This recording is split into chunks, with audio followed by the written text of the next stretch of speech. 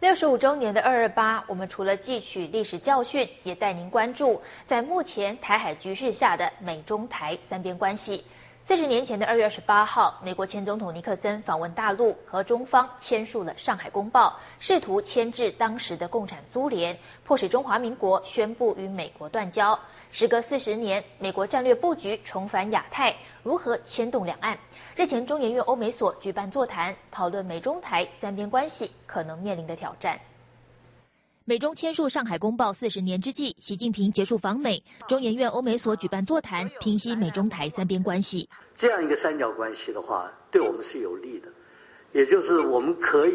斟酌我们自己本身的利益啊，来衡着我们跟大陆发发展关系，速度怎么样，内容怎么样？二零一二年台湾大选已落幕，随着中共十八大召开和美国大选，中研院欧美所副研究员黄伟峰认为，美中结构性问题将再度浮现。你可以预期，就是未来从现在开始到十一月，哦，今年年底，我们可以看到，就是中国跟美国之间呢，会有一些延迟上面的这种交锋。这个保守的看法就是说，也许是。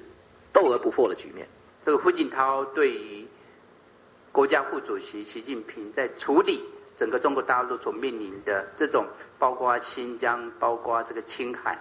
这些的天然跟人为的事件的时候，呃，并不是有那么大的这个信心。学者林正义指出，美中之间虽然有经济合作，但基本上仍处于竞逐关系。两岸关系的转变将使美方重新评估台湾以台制台的这种北京的政策。会越来越明显，哦，这这个部分让台湾你要左右红颜，理想理想是这样子，但是在操作的时候，呃，捉襟